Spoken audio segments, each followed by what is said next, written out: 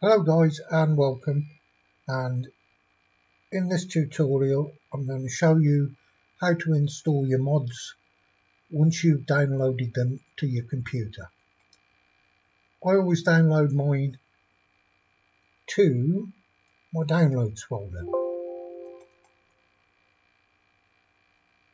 And once you've downloaded them they'll always come in a zip file. So before you can put them into your game, you need to extract them. So I'm going to show you the main types of mods that you're going to come across.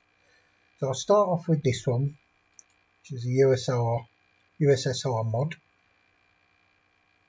Click on it, open with, and I use 7-zip extractor, but you can use WinRAR, 7-zip, uh, WinZip, any extractor folder you can use. And I always extract them still into my download folder. That makes it a lot easier for you to handle them. So use the 7-zip extractor. It will open. You will get this. Highlight what you want. Click extract. Check it's going to your downloads folder. Okay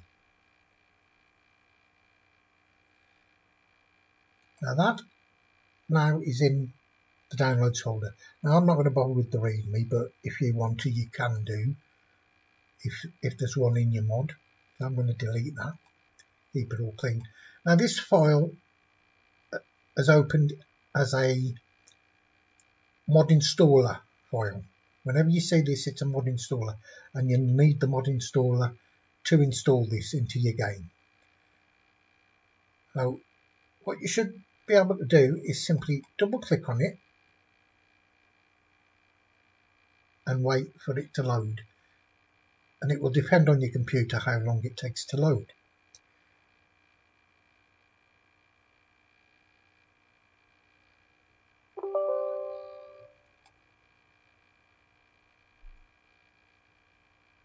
Now, always check this. This will install the modification from package C users FileMark downloads, that's me, USSR mod. Two, and this is the important bit, you need to make it go into your games mod folder, into your emergency 4 or 911 responders mod folder. So C program files, X6086, 16 tons of entertainment, emergency 4 mods. Now if you've got the um, the 911 responders version, it will say something like C program files, whatever thingy. Wizard Works, I think it is. Emergency 4 mods. So if you've got it correct, you just simply click yes. And that, if done correctly, you'll send it into your mods folder and I'll show you that in a minute.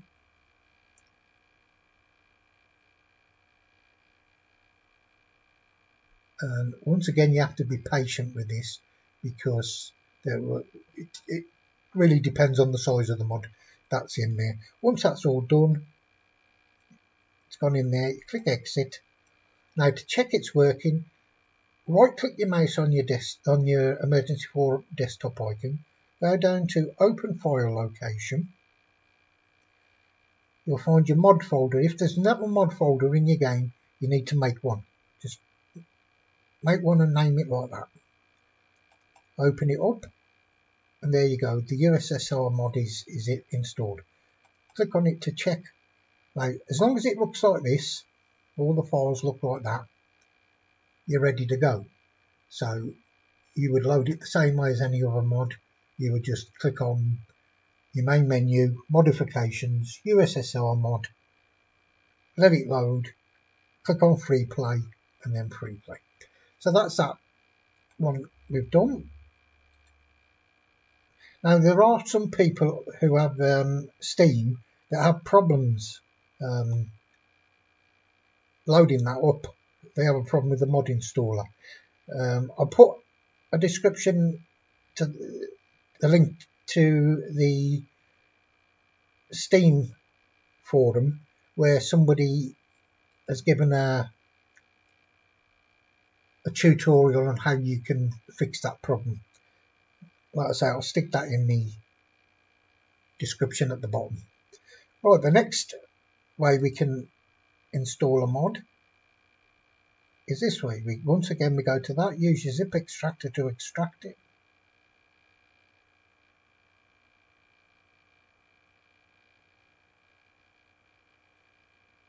Vietnam modification, extract, extract it to your downloads, and just have patience while it does it for you.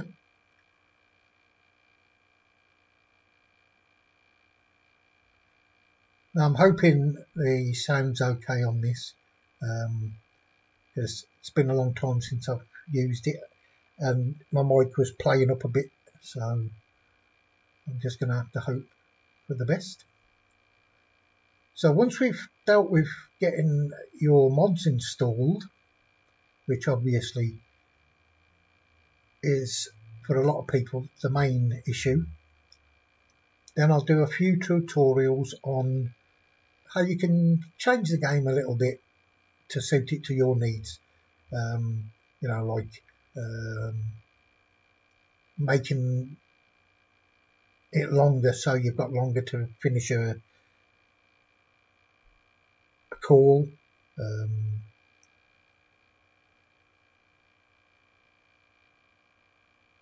you know, di different little things like that.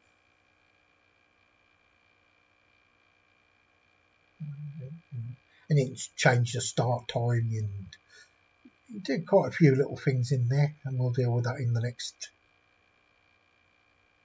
tutorial once we've learned how to put your mods in.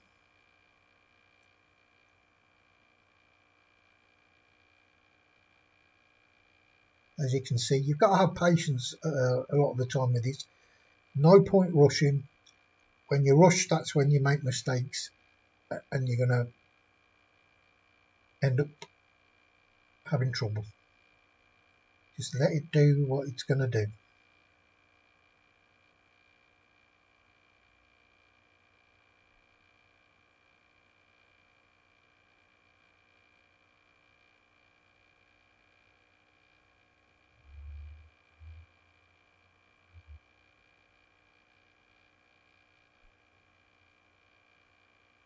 Hopefully we should nearly be there now.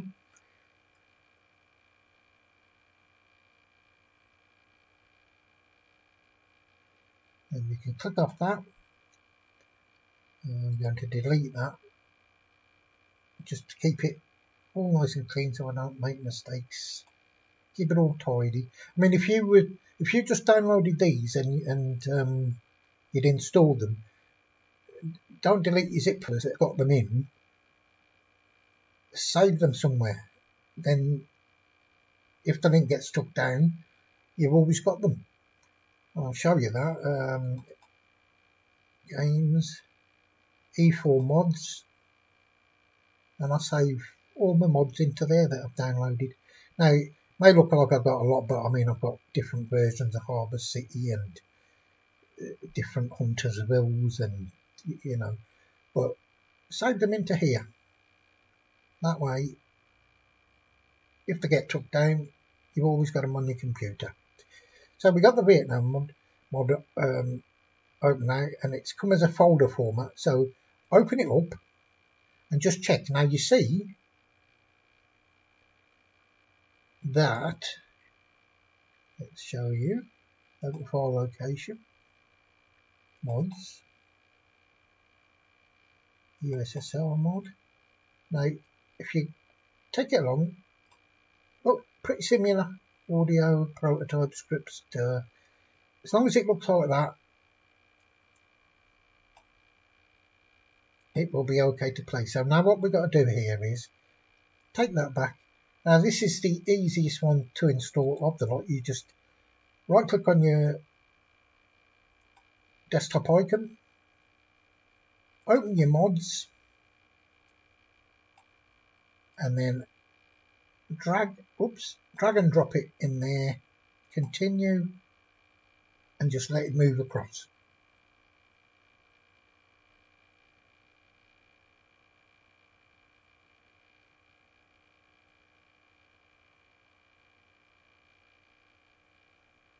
And once again, I will stress you have to be patient. There you go, it's gone in to your mods folder. So, come on, move across so I can close you. Right, the next version we're going to deal with is extract this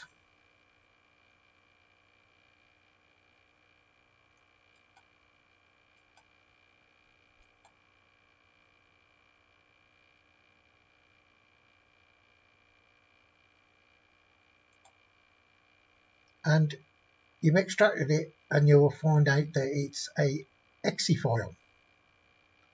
Not many that come in this format, but there are a few.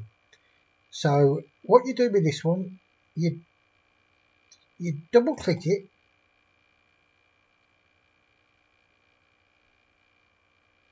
Now this one is probably one of the might take longer than any to uh, install. I think um, Brooklyn might come in this format. Um, now, depending on your security settings, some computers it will come up and say you're about to install an exe file. These files can be dangerous for your computer, you know, etc. etc.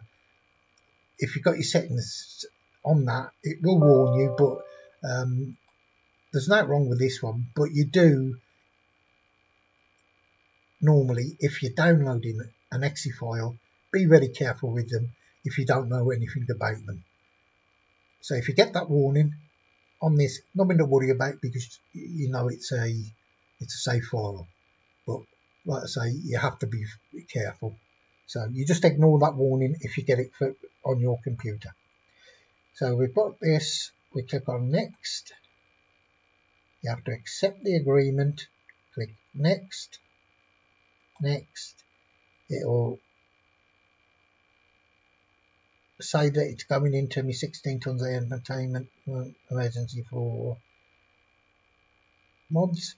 But just to make sure what I'll do it is emergency 4 mods. Just click on the mods see there. Because that was going into emergency 4 itself and not into the mods so just make sure it goes to the mod folder.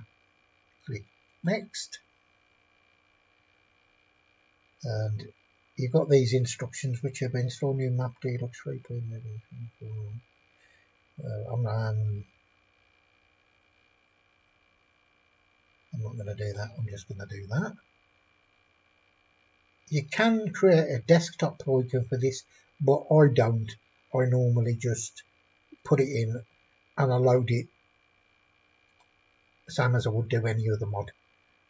In the main menu, modifications, Los Angeles mod 2.1, let it load, and then go into free play campaign uh, challenge, whichever I want to do. So, so I don't do a desktop icon. You can do it if you want, but it can get a bit confusing loading it that way. Just load it the normal way.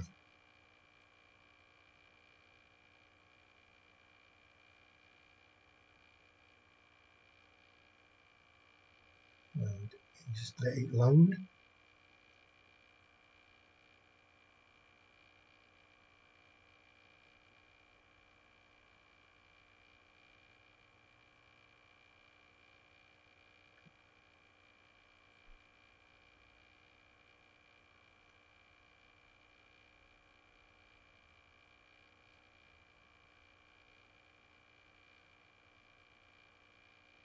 As always, patience is the key.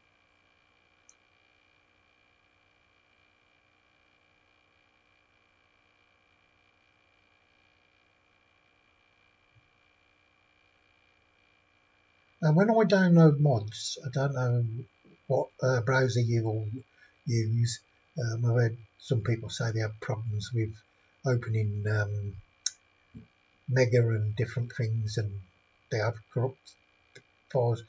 Now, I've never come across a corrupt file on an emergency 4 mod ever in all the years I've been doing it. I always use Google Chrome to do my downloads. I always use that, no exceptions. Always downloaded them to my download folders and I've never had an issue with them.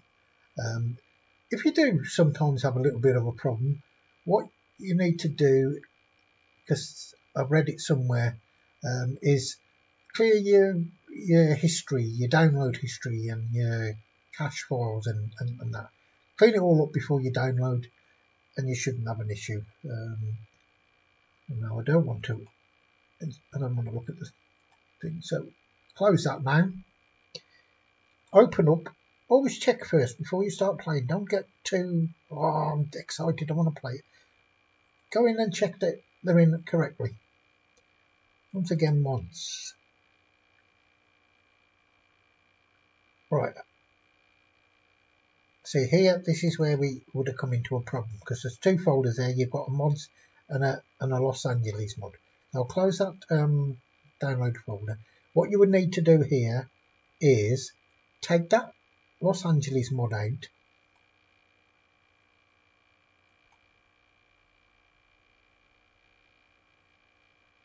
If you ever get a folder within a folder, and I'm going to show you on the next one a similar problem and that's why you're all having a lot of people are all having problems with um, loading the London mod so you, you delete that folder and then you drag the Los Angeles mod back into here you don't want a folder within a folder on that. That's where your issues will start.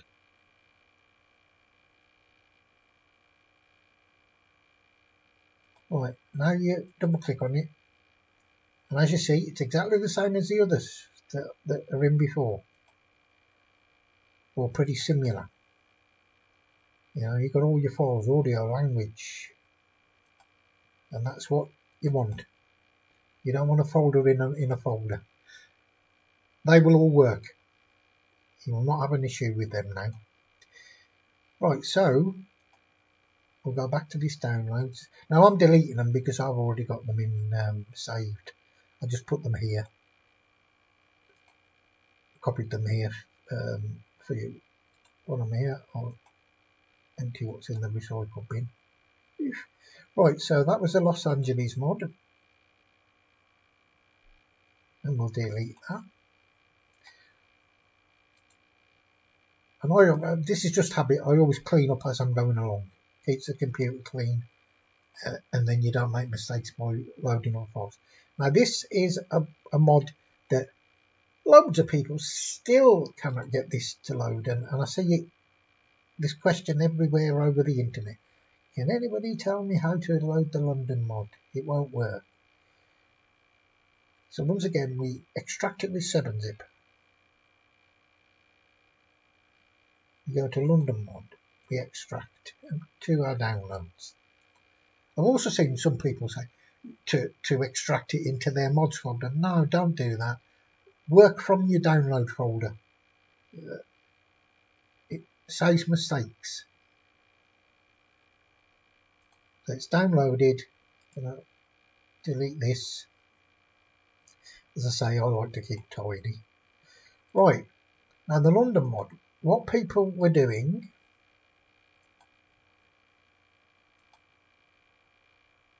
same as what happened with the Los Angeles mod. What people were doing are opening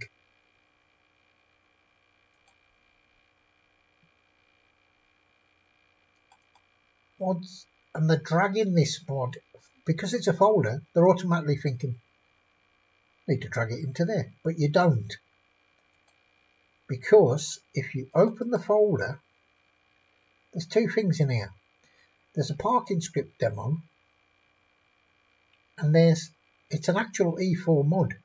So if you dragged the folder into your mods folder, it won't work because you haven't extracted the the actual mod itself. So what we do is you open the London mod 1.3. I don't bother with the parking script demo. I don't um, I don't bother with that in a lot of my mods. Some people like it. If you do, you will have to work that out yourself. You know, you've got to you've got your how to to do it. And, and these menu icon items, I'll leave you to set them up yourself. So what you do is, once again, it's a mod installer for the London mod, which was inside the folder. And that's why, once again, make sure it's going to your mods folder.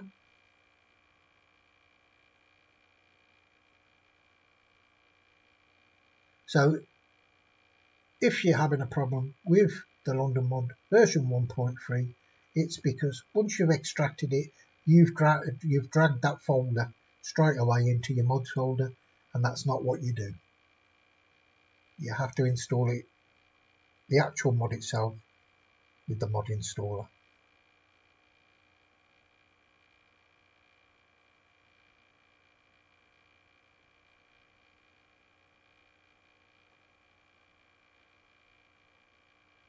There we go.